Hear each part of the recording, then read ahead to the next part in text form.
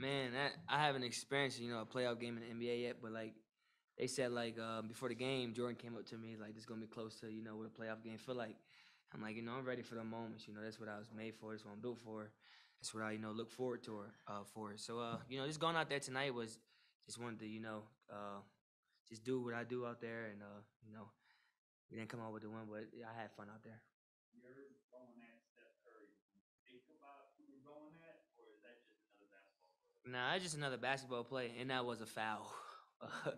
Definitely a foul, but uh, you know, it's On the Steph Curry. Yeah, on the baseline on the fade, but it's just Steph, so I, I guess it wasn't a foul. But, but nah, though, you know, it, them, them, you know, guys like that, you know, everybody, I go at anybody. It doesn't matter who it is. Uh, you know, I just feel as though I can, if I, I feel as though I can go at anybody, I just go at them. What about on the other side, guarding Steph Curry? I know you won't match up on too much, but in, in general, there's a uniqueness to what he does compared to anybody else I see. What you asking me? So what's it like guarding Steph Curry specifically? Uh, you know, he, he, he a great dynamic player. He can do uh, uh all things. He's a four level scorer. Um, you know, he can shoot he inside, mid range, three, and even beyond the three. So, you know, he gives it uh on all aspects of the game. But just guarding him is, is, is fun to guard. You know, him keep moving around. You got to chase him. It's, it's just fun to guard. Just to you know be on the other side of guard him is fun.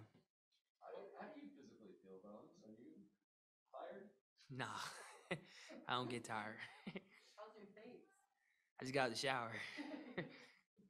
Okay for taking hit though? Oh, I thought you talking about I look tired or something. Nah, but yeah, that was supposed to be a flagrant foul. I don't understand how that wasn't. Jonathan Kuminga hit me right in my face. What uh, he didn't call it flagrant, but my face is good.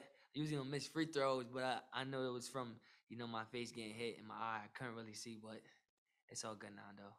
Is it, is it just you that you're used to playing, whether it's AU or college, where you're running all day, video games? Yeah, that's what I mean. That's what it feel like a little bit. Uh, you know, especially when the crowd get into it, it gives me them playground vibes. Uh, you know, for me just playing playground basketball my whole life. Uh, you know, get the excitement in the game, and, and you hear the you know people on the sideline, you know, start cheering you on and stuff like that. It it gives me those vibes again. You're not at the point where four games, five night people faces you the way I. Nah, not at all. Like I, I'm, I'm young. Uh, you know, I just want to bring that juice, that joy, and that energy to uh, towards my teammates. You know, coming off four games in five nights. I know some of them are tired. Uh, you know, they're they're up in there up there in age. But you know, I'm young, so I want to bring that juice. Bones, what's the emphasis been like? You've been this backup point guard for a little bit now. How much more of an emphasis have you put on your game in, in getting into the lane and then distributing it? Uh, you know, for me is I, I feel as I can get anywhere on the floor. So uh, you know, my teammates tell me all the time, you know, don't settle. They can't stay in front of you. Keep getting to the lane, creating for yourself and creating for your teammates. So just keep hearing that from my teammate. It, it, it, installs into, into my brain and, and just to keep going, and being in attack mode. And, you know, Coach Malone and uh, we went on that run. He just keep telling me like, don't stop, keep going in attack mode. They can't stop you. So you know, stuff like that just keeps me going and keeps me, you know, that that foot on the gas. You know, that's how we got that big lead. Mon- Monte said it did feel like playoff game today. Yeah. Close to the end of the season.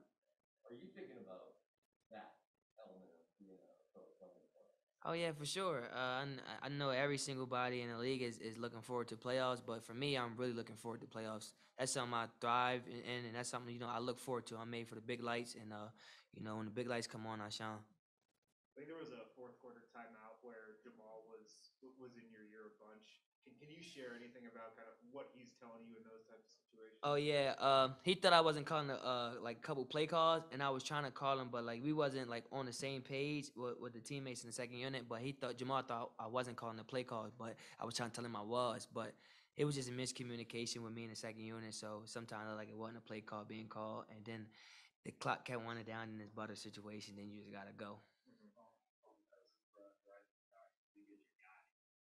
Did you let him know when you gave him the? Oh? Kuminga, yeah. yeah, he came up to me and said that, and then I was me. and all his teammates said it too, though. But Jonathan Kuminga is a great player, great talent, and even great, uh, greater person too. That's my guy. Nah, I I don't think it was intentional. I think he tried to make a play on the ball. Uh, you know, he apologized to me. He asked me was I alright, stuff like that. So, you know, I was well, I was kind of mad, but you know, I understand that was, you know, a friend of mine. I don't think he meant it on purpose, and uh, you know, it was went from there. All